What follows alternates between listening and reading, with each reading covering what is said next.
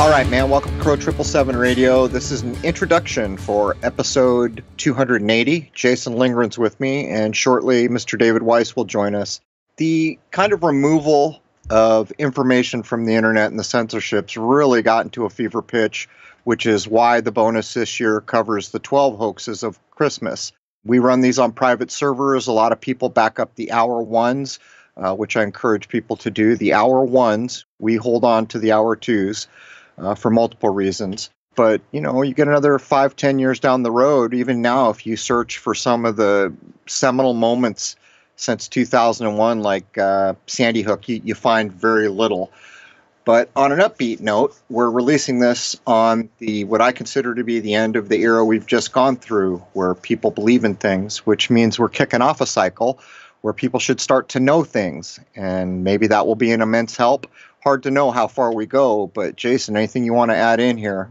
In light of all the stuff that's going on right now, it seems good to take a look back at what really set us up for the bad guys to be able to pull off what they're pulling off right now. Right. I quit really paying any attention at all to the false shootings and things like that uh, in the fall of 2017. Matter of fact, the last one that I purposefully took apart was Vegas, the Mandalay Bay nonsense and that resulted in us getting my YouTube channel killed. And uh, Google put out an algorithm, which is still in full force, ensuring uh, that people that find us, it's almost wholly through word of mouth. If you've never done a search for Crrow Triple Seven, we have reason to believe that it'll never come up in a search return unless you use something other than the mainstream engines. So the main purpose here, and if you you know, I felt like I put on my muck wading boots to do it. I really did. I hadn't, you know, I've been away from it for so long, but it's important to get these things on the record. Uh, what's going to happen in five, ten years? People will have forgotten if the internet is the only source they have. But there are a lot of people on BitChute and other places. Uh, a gentleman has just contacted me and backed up every hour one and is blasting it off private servers out to places. So this is basically our effort to put a lid on the memory hole. Anything else, Jason? Well, since we're doing this on the solstice, I think everyone can understand the significance there, right? Holidays are holidays, and hopefully everyone keeps being as positive as they possibly can, considering everything that we've all been through this year.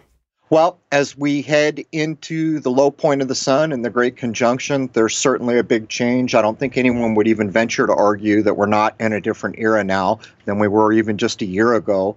But at the end of the day, everyone should have a positive mindset and don't let the media get you down and don't let episodes like this one get you down. It's just about memory and you know david weiss even talks about it's kind of a comedy show once you understand what's going on. And it would be laughable if so many people weren't fooled but here is the era shift and we have a big opportunity to get a lot more people on board. And by the way as this nonsense goes into full force during the year of the blackjack 2021 i think a lot more people are going to to really start to question what's going on here.